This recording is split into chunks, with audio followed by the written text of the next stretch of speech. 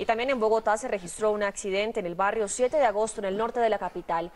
Esta mujer estuvo atrapada tres horas y media en su propia casa luego de que un bus de servicio público derribara un poste de energía y terminara contra su vivienda. El conductor del bus y dos pasajeros resultaron heridos y fueron remitidos a la clínica del Country. Las autoridades evalúan los daños y las causas del accidente.